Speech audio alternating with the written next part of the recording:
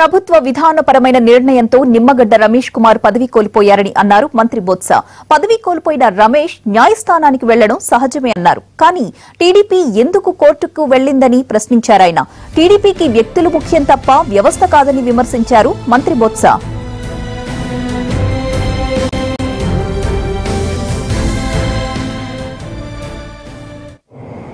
తీసుకున్న విధానపరమైన నిర్ణయంతో ఆయన పదవిని కోల్పోయారు. కొత్తవారు ఎలక్షన్ కమిషన్గా వచ్చారు.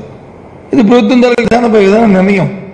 ఆ నిర్ణయం మీద కొత్తగా నష్టపోయినా లేదా పదవి కోల్పోయినా లేదా అవకాశాన్ని కోల్పోయినా వ్యక్తి ఎవరైనా వ్యక్తి ఎవరైతే ఉన్నారో రమేష్ గారు ఉన్నారో బాగా వచ్చి కోర్టుకు వెళ్ళడం అనేది అది సహజం మానవ అది హ్యూమన్ బీయింగ్ ఓ నాకు వచ్చిన అవకాశాన్ని నేను కోల్పోయాను.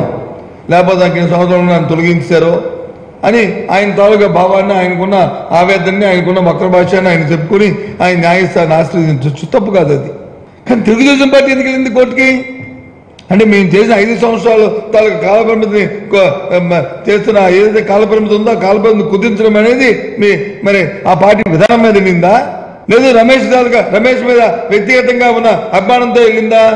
దేనికోసం ఆతృతపడి మాట్లాడే తెలుగుదేశం పార్టీ చేసింది?